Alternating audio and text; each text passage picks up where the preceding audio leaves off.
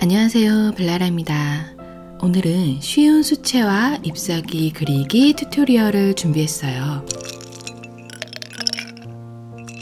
오늘 사용하게 된 물감은 제가 이번에 만든 4가지 핸드메이드 물감이고요. 금색도 사용을 할 거예요. 사용한 종이는 블로코 아티스티 황목이고요. 사용한 팔레트와 붓은 다음과 같습니다. 먼저 밤바다색을 사용해서 커다란 잎사귀를 하나 그려볼게요. 먼저 중심 줄기를 얇게 그려주시고요. 안쪽에 작고 기다란 잎사귀가 하나 숨어 있다고 생각을 하신 다음에 그 바깥에 약간 새끼손가락 모양의 잎사귀를 더 튀어나오게 그려주세요. 헷갈리시면 지금 저처럼 안쪽에 얇은 잎사귀를 미리 그리고 그 위에 잎사귀를 덧대어 그리시면 됩니다. 그렇게 하면 훨씬 더 쉽게 그리실 수 있어요.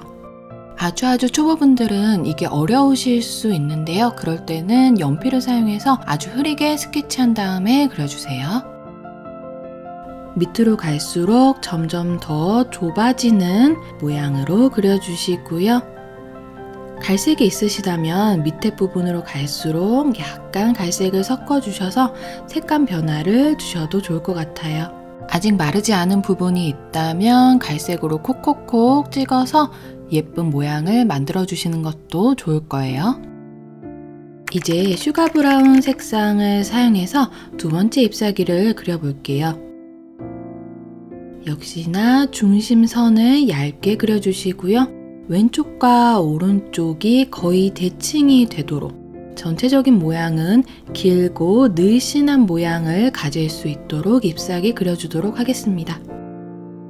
그 다음에 sugar pink 색상을 사용해서 잎사귀를 또 그려볼게요. 전체적으로 가을 느낌이 나는 잎사귀들만을 골라서 오늘 그리는 거기 때문에 이번 잎사귀도 단풍나무의 잎사귀를 그려보도록 할게요.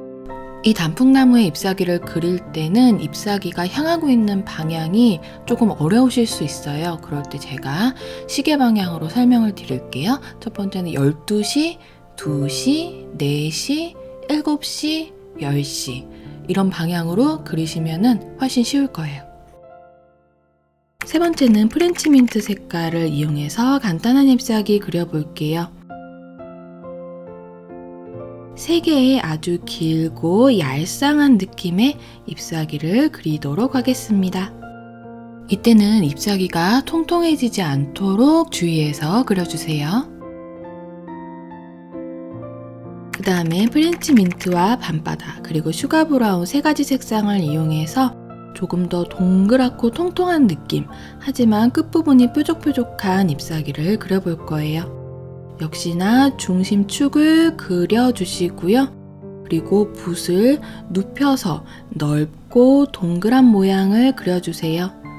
이때 물이 너무 모자라면 나중에 덧칠하거나 묘사할 때 힘들 수 있으니까 물을 많이 많이 옮겨와서 색칠을 해주세요. sugar brown 색상을 조금 더 섞어서 약간 진하게 만드신 다음에 붓끝을 사용해서 뾰족뾰족한 잎사귀에 무늬를 넣어줄게요. 지금 이 부분이 조금 어려우신 분들은 조금 더 얇은 인조모 붓을 사용해서 그리시면 훨씬 더 편하게 그리실 수 있을 거예요. 조급해하지 말고 천천히 신중하게 그려주세요.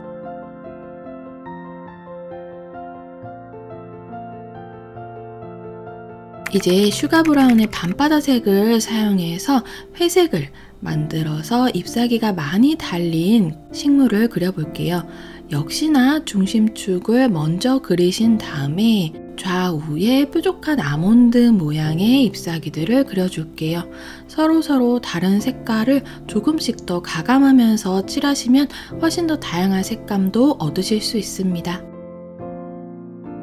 아까는 4, 5붓으로 했는데 지금은 잎사귀의 크기가 많이 작아졌기 때문에 2, 5붓으로 바꿔서 하고 있어요. 지금까지 그렸던 6개의 잎사귀들 중에서 지금 그리는 회색 잎사귀가 가장 난이도가 좀 있는 편이에요. 왜냐면 잎사귀의 크기도 작고 잎사귀의 개수도 많기 때문인데요. 그렇기 때문에 최대한 많은 시간을 투자하셔서 꼼꼼하게 마무리를 해주시면 좋습니다. 밑에 부분으로 갈수록 잎사귀가 조금씩 더 커지고 길어지는 모양으로 마무리해 주도록 하겠습니다.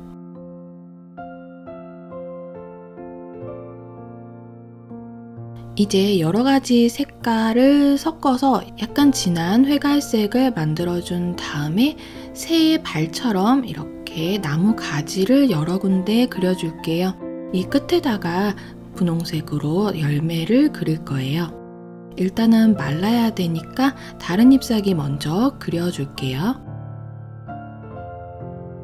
sugar brown 색상을 조금 더 섞어서 통통하지만 작은 사이즈의 잎사귀들을 중간중간 그려줄게요. 허전하다고 생각되는 부분에 그려주시면 됩니다. 처음 그렸던 6개의 큰 잎사귀들이 주인공이고 자그마한 애들은 엑스트라이기 때문에 일부러 더 크기도 작고 채도도 낮추어서 그려주고 있어요. 밤바다 색깔도 조금 더 섞어서 길쭉하고 얇은 모양의 잎사귀를 그려줄게요.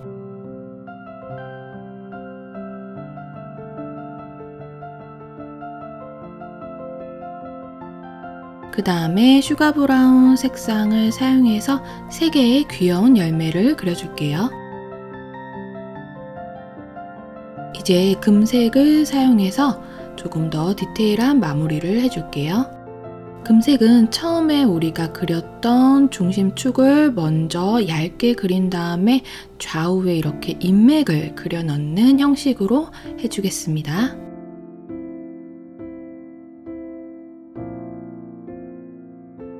두 번째 sugar brown 색상으로 그렸던 잎사귀도 아주 촘촘하게 빗살 무늬처럼 보이도록 금색으로 잎맥을 그려줄게요.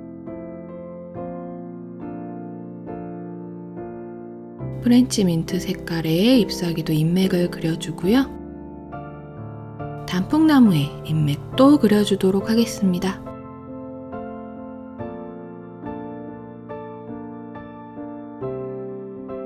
잎맥을 그리는 방법은 중심축을 길게 나눈 다음에 좌우로 촘촘하거나 또는 촘촘하지 않게 임의대로 인맥을 그려 넣으시면 돼요.